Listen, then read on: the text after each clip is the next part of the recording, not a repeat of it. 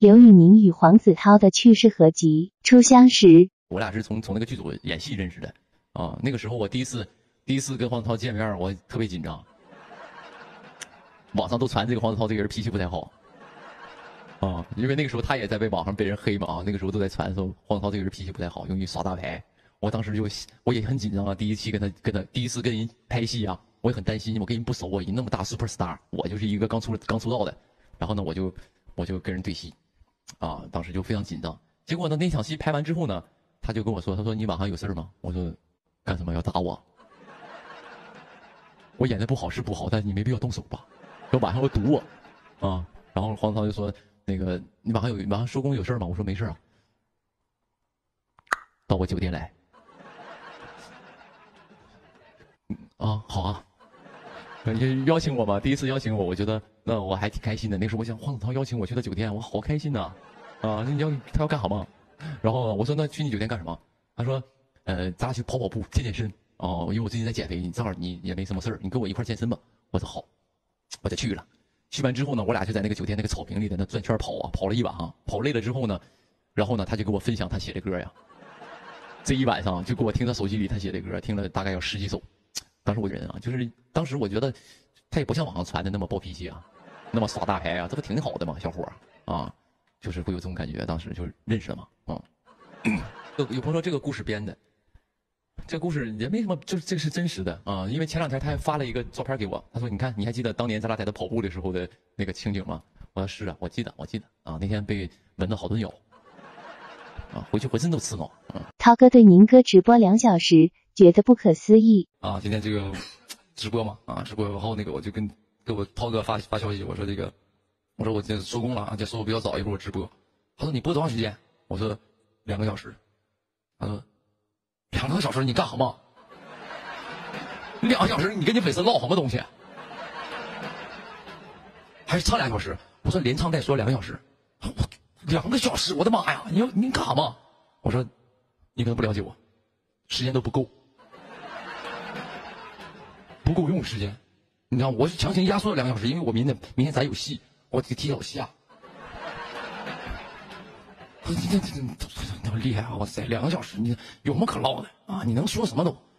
我说，我毕竟我已经播五年了啊，我每天的直播就是两个小时的综艺脱口秀。嗯，有朋友让他到直播间来看，他他这个他现在拍戏的地方呢没有网，他说我这边没有网要不，我看看你直播你怎么看啊？就跟我聊，他说我给你刷点礼物吧。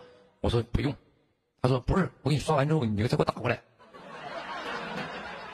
我送一个你们这个最贵的，我要到时候你们把钱给我打过来。我说那不疯了吗？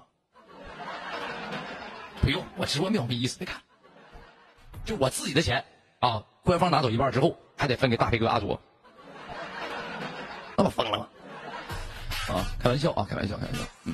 Super Me 手机壳。呃，当时当时那个时候在剧组嘛，剧组拍戏跟黄子韬老师，我在涛哥啊，当时我俩不同时买的这个电话，这个电话不刚出那个时候那个时候是十一月初的吧，是吧？这个电话苹果叉，我说我说他说哎你电话到了吗？我说到了。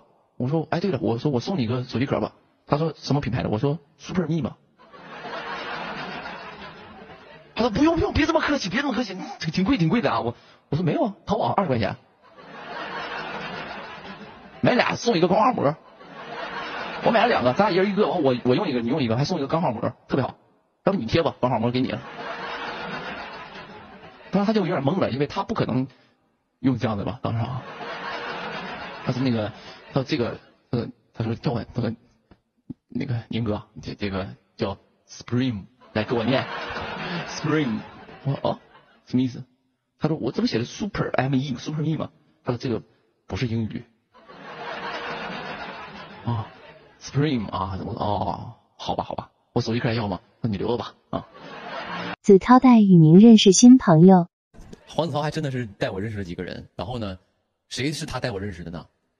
呃，王嘉尔，呃，反正反正他带我认识了不少人，反正是，嗯，啊，马伯骞啊，马伯骞也是，对对对，嗯。朋友聚会，四人三国语言。我经历过一个特别奇妙的一个场景啊，那天去也是。后来杀青了啊！后来回回我回北京，那天去找黄子韬玩，去他家去了。上他家之后呢，他后来叫了个，当时谁在那儿了？当时啊，当时当时是那个谁那个黄子韬一个，然后他和那个马国谦在一块儿，然后叫我过去，我就去了。去完之后呢，过了一会儿，王嘉尔又来了。马国谦英语非常好，王嘉尔就不用说了，英语也是呱呱的。然后呢，我坐在那儿，我就在那儿，他们就是就他们就特别神奇，就是讲着讲着莫名其妙就切换到英文了，也不知道为了练英语还是练什么东西，就是在那儿。然后呢，黄黄子韬跟王嘉尔聊聊，说着说着又开始讲韩语，就他全程我们的聊天是三种语言。讲讲韩语，然后就好像这个韩语讲不行了，又又开始用英文，英文不行了，说不明白，又开始讲讲中文。就我在那，我就觉得，有的时候你知道非常尴尬，我听不懂。然后我就坐在那，我就有的时候，哦，是吗？OK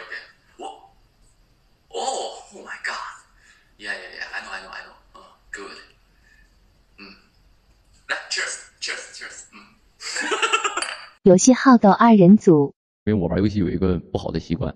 就特别喜欢充钱，宁哥有个好胜的心，啊，宁宁哥有个好胜好有个好胜好斗的心，也不知道就是感觉就现实可能挫折太太太多了，就准备在游戏里找找存在感。那天记不记得我给那个黄子韬老师，哎，黄子韬老师，我给黄子韬老师录了一个游戏那个什么，呃不是录了个生日祝福嘛，我跟他说，我说把我跟你玩游戏的钱给我报一下。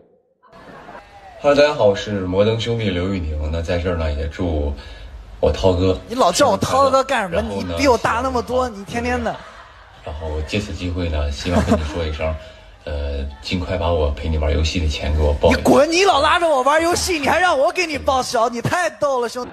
我俩那前怎么开始玩游戏的？就是我跟你讲，就是有什么游戏他就分享给我，我有什么游戏分享给他。我俩一玩游戏，他也是黄子韬那人吧，也是你也能感觉到，就也是那种不服输。然后他也是那种劲儿劲儿的吧。嗯，然后那个什么，我俩就游戏里就就有有朋友说人民币玩家，也不能这么算吧啊，我俩就当时就是两个人吧，我俩建建一个帮会，我两个人打对方帮派五十个人，你想想得充多少钱？就玩个游戏就跟心理变态似的，人都很多朋友是玩游戏嘛，都有玩游戏就是玩那个，比如说玩过手游或者是有很多朋友玩手游嘛，也懂啊，因为游戏里有一些有游戏有托，游戏里里边有托，你知道吗？就是那种。就是比如说你你充了好多钱，他呢他就没事就打你，或者是呢他就在你那个，比如说你战力是一万，他就九千九，就离你特别近啊，他准备就是让你逼你去充钱嘛，他游戏里都有托的。